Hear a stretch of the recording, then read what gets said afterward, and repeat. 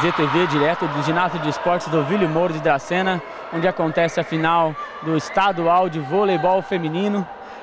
Aqui hoje pela manhã nós tivemos o jogo de Indiaporã vencendo Pindamonhangaba por 2 sets a 0. Neste momento, Praia Grande vai dando combate aí ao time de Cafelândia.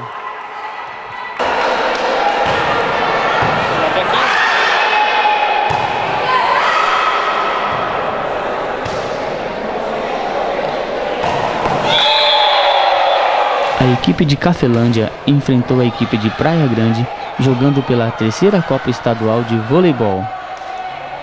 Cafelândia no primeiro set venceu com parcial de 25-18.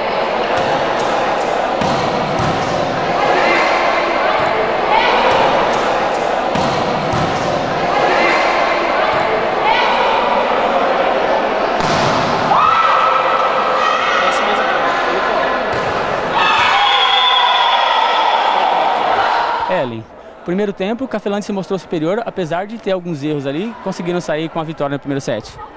Sim, é, a gente estava com um pouco de problema no passe, né, e errando muito saques, mas depois do meio set para cá a gente conseguiu se manter e conseguimos virar o jogo.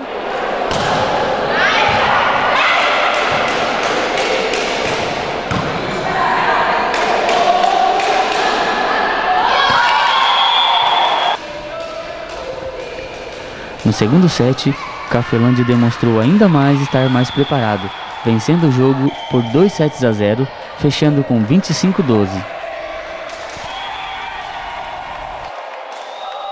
Ana, duas parciais, a primeira uma larga vantagem, a segunda 25-12. Pode-se dizer que o jogo foi tranquilo para a Cafelândia hoje? Foi, foi um jogo tranquilo, todos tiveram perseverança, vontade, superamos nossos limites, isso é a base de tudo, né, às vezes. É isso aí, pessoal. Esse foi o jogo de Cafelândia contra Praia Grande. Se você não veio, perdeu, mas está em tempo ainda, vem com a gente conferir a final estadual do voleibol.